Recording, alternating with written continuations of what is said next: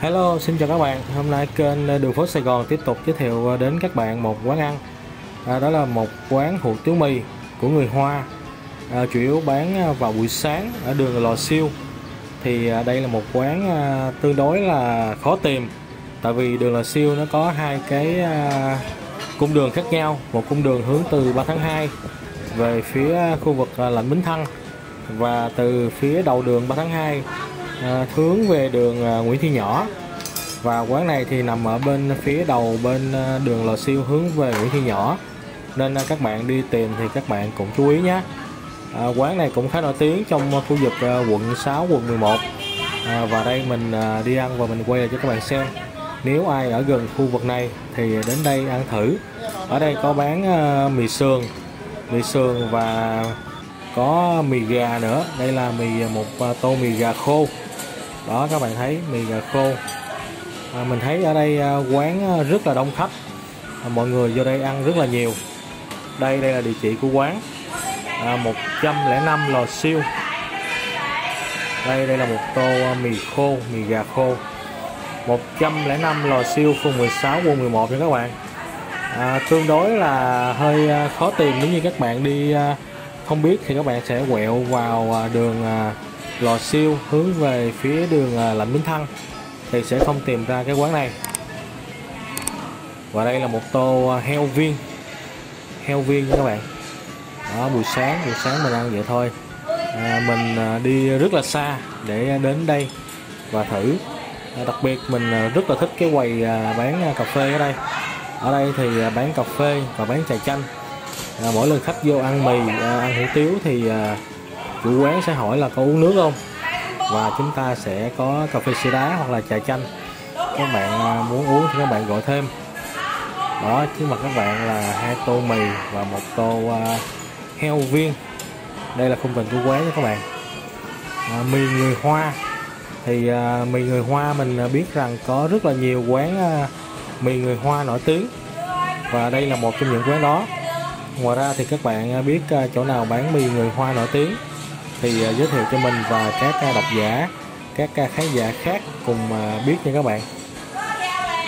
Trước mặt các bạn là một ly cà phê sữa đá và một ly trà chanh. À, để trên hai cái dĩa nhìn à, rất là hấp dẫn đúng không? Đây là một chén nước chấm người ta cho kèm theo. Để ăn với lại mì gà khô. Đó ở đây chén này tương đối là đặc biệt nha các bạn.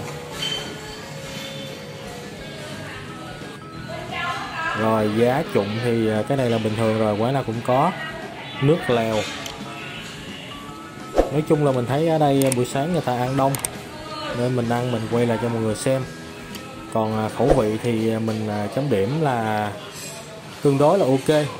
À, mình thì à, mình à, ăn thử à, mì gà khô. Rồi một chút nữa mình sẽ thử thêm cái món à, mì sườn xem món nào ngon hơn. Và đây là món mì sườn nước nha các bạn. Mình ăn thử hai tô luôn. Nó tương đối no một chút xíu nhưng ăn thử để uh, trải nghiệm cho các bạn xem. Thì mình thấy uh, tô mì sườn nước ăn nó uh, ok hơn là tô mì gà khô. Uh, có vẻ như là ở đây uh, chuyên về mì sườn nha các bạn. Thì các bạn hãy ăn uh, mì sườn. Còn ai thích ăn gà thì cứ ăn gà rồi hôm nay à, review giới thiệu cho các bạn xem một quán mì nằm ở khu vực đường Lò Siêu số 105 à, đường Lò Siêu quận 11 các bạn ở gần khu vực này nếu muốn ăn sáng à, phong cách mì kiểu người Hoa thì à, đến đây để trải nghiệm thử. Cảm ơn các bạn đã xem video clip này.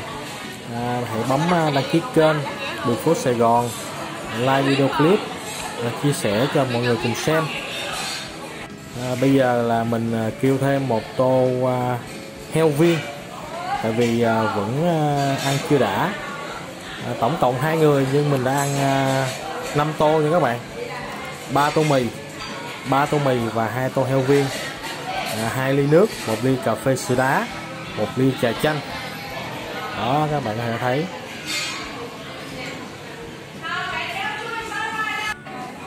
Đó, cà phê sữa đá. Cà phê sữa đá uống cũng rất là ngon. Tuy nhiên buổi sáng mà uống ờ, trà chanh thì có thể là vì ăn quá no nên ờ, chúng ta sẽ uống không hết một ly bự như thế này. Ở đây có bán ly bự và ly nhỏ nữa. Mọi người muốn ờ, uống size nào thì mọi người nói người ta làm. Rồi, bây giờ đã ăn xong. Sạch sẽ. Sau khi ăn xong thì tính tiền là hơn 200 ngàn nha các bạn. Và đây là khung cảnh của quán. Đây là khung cảnh của quán bên ngoài. Bãi gửi xe. Cảm ơn các bạn đã xem video clip. Xin hẹn gặp lại.